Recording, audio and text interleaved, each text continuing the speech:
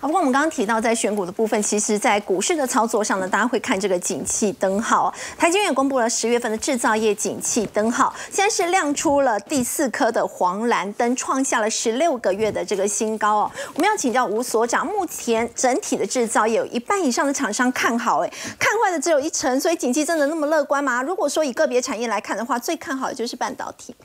应该说，应该说不是乐观哈，应该说最坏的时刻就最悲观的时刻已经过了啊，我也不会再有什么很悲观的一个理由，就是哎，最差就这样子啊，最差就这样。对对对对，那当然我们来看一下，我说实际来看一下我们自己公布的这一份那个那个问卷调查哦，其实它针对的是厂商对未来半年的一些景气的一个看法，所以你实际看一下，它其实在未来预测未来的景气。那当然，其实这个讯号我就讲已经连续四个。黄蓝灯哈，它背后代表很重要的含义就是说，它看起来跟谷底的这种蓝灯已经有段距离了，而且最新的数据基本上已经来到十六个月的新高。嗯，哦，所以我说这它离大概离十三的绿灯的分数，哦，大概也差不到两分。哦，他们所以我说，它看起来是相对来讲，对厂商来讲，它是对未来是比较有比较好的一个乐观的一个预期。那好的预期来来自于哪些因素？我们可以来看一下。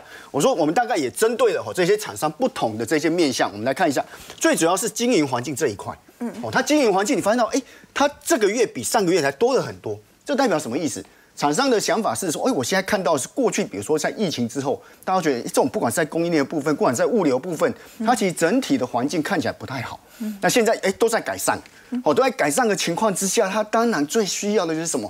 如果有需求也跟着上来的时候，哇，这时候景气就跟着来。所以我们一说，现在看起来是整个需求目前还没有真正拉起来，所以它在比较低的位阶吼。你看需求的部分，所以我一说，如果那个讯号一出来。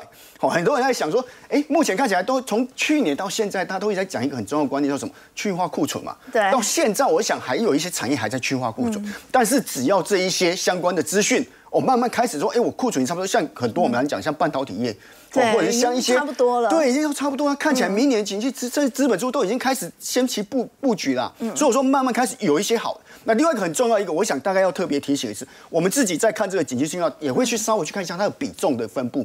什么叫比重的分布？你来看一下绿灯的分布，大概是这一期里面吼成长的最好的。我就简单来讲，说过去哦，大概绿绿灯的比重很低。我们更不要讲红灯跟黄蓝灯，就是个别产业。对，它其实绿灯的好的意思是转好的产业慢慢在变多。它从原本这个上个月在七点八七，这个月到二十六点七九，增加了 哎快两成。对，是。所以我说，因为看起来说说，哎，现在看起来黄蓝灯的比例还还比较居多，但是我就讲了，这个基本上就是最差的情况。它其实已经慢慢这个在递减嘛，这个在下降。哦，那这个也是一样，这个也是在下降。对。所以我说，它看起来已经。整体的状况已经慢慢在好转，那这个好转的时候，我就讲。有一些产业当然就会有很好的机会。蓝灯跟黄蓝灯是在下降，但是绿灯很明显啊，就很明显增加。对，所以有些产业我就讲了，这其实整个变化很明显。所以我说很多人在讲啊，明年是不是真的要那么乐观？我说你就算你不会那么乐观，但是也不要太悲观，因为看起来今年就真的是最糟的时机已经过去了。那到底哪一些产业比较好？我们来看一下，这也是我们去发问卷回来之后调查一个结果。我那我说这个结果还蛮可信，还蛮高，是因为回卷哦，但我们发了一千多份问卷，回卷大概有将近五百份。好，所以其实可信度还蛮高，就是你发现到最看好是什么？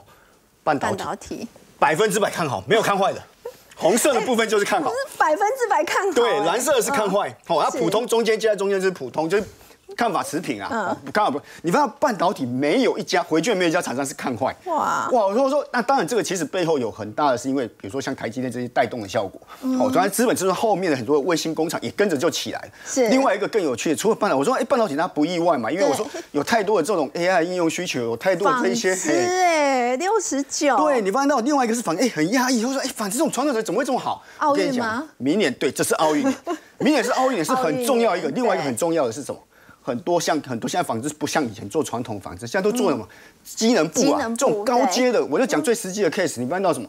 你如果去留意最近什么，台湾出现一个问年薪，他把墨西哥就是很大的过去那种叫做牛仔裤的大厂，把墨西哥厂整个关掉。但是你有发现到做机能部的其中有一家像什么 Lululemon 加拿大的，对，哇，Lululemon 像什么业绩是一路往上走啊。所以我说看起来纺织他们有一些很大的变化在，这当然就会带动他对未来景气一些预期。那另外一个很重要是电力。哦，那电力其实过去我讲，因为电力其实大家都在讲什么？因为大家需要什么低碳转型嘛，嗯，要绿能转型，哦，所以它需要很多的这一些智慧电网，需要很多的这些储能装置。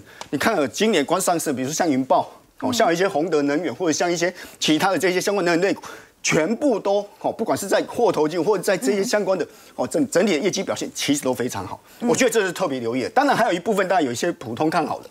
哦，那这个普通看好，其实讲它还是看好的，但是我是讲，它可能是机器元素，像钢铁跟机械，因为实在太糟了。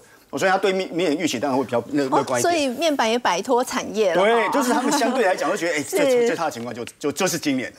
好，刚刚我们提到在半导体的部分哦，其实被看好很重要的一个原因，是不是因为来自 AI 呢？是我这个其实我们讲，因为我们刚刚讲半导体嘛，对啊，半导体我说的最连接最深的，就是像我讲为什么那个辉达 NVIDIA 它能够股价创新高，是我讲市值都到一点二兆，这以前大家都没办法想象，甚至还有外资发报告说，哎，未来最有可能就是搞不好会走到股王那个。我说我说辉达就是其中一个，就是其实重点就是什么 AI 应用已经深层的被导入到人的生活，甚至一些产品的技术。那当然为什么需求，我们可以现在看一下导入 AI 应用的目的到底是什么？很重要是什么？因为我希望我的产品有 AI 的时候，我可以卖得更好啊，卖得更多啊。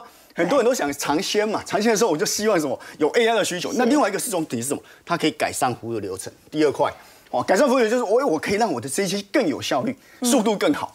哦，所以你可以看得到很多的公司从一开始完全没有的，你发现到什么？很多开始已经有嘛，有四成以上已经有把 AI 初步导入，初步导入的比重很高。对，为什么要初步？为什么说这个值得留意？是因为什么？我初步导入的时候，我接下来是什么？开始就会买很多 AI 相关的产品，这些晶片，这些需求哎就出来了。所以我说为什么要看？我们看一下几家。我说我就举举举两家。这个大概是我们在看很多的这一些新创里面，嗯，哎，比较有机会，就像创新智慧这一家好，嗯，哎，它是国内的一家哦，哎，设计 AI 晶片，跟云端比较有关系，做云端云端智慧设备的这种 AI 晶片。你看哦，首家切切入七纳米的制程 AI 晶片，重点是什么？它去年的一个好在一个报告评比，晶片能源效率全球排名第一，竟然比辉达还好，竟然比辉达，哎，就不相信哦。我跟你讲，这是他们自己实际的。这样的一个报告评估的结果，我说这很不得了，更不要讲。我就讲，好，除了这个之外，你看到 AI 切入到医疗之后，像这家云象科技，它可以做什么？骨髓抹片 AI 自动分辨系统，可能就哎，这到底在讲什么？不知道。我可以简单跟你讲，它只在做一件事情。我们都知道，以前哈，我就讲，它基本上你去看医生的时候，常会照片子嘛。嗯。片子通常都是人工这样一这样去看，对，很累啊，用人工判断，而且常常会有一些失误，会有误差。对，它现在就是用 AI。把它加进去，它可以怎么做？简单来讲，甚至会比人去看还要更他去训练，他大量的这些训练中，他怎么样？他可能不见得会完完全全跟你讲哪一片那那个不好，他会，但至少他可以做一件事情，他可以把高危险的族群先骗子先分出来。云象科就在做这个，他把这些分享出来，哎，你就先把这里面先找，我至少可以缩短时间，我至少可以判提高他的精准的判断的需求。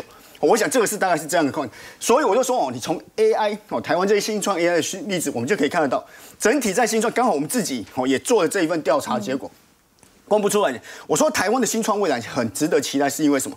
因为你翻到全球，我们就讲一下，这是全球的一个新创的一个募资的排名。你翻到什还有它的金额需求，你翻到它一路基本上从二零二一年之后就开始一路往下走，但是我们自己做调查，在台湾的新创里面翻到。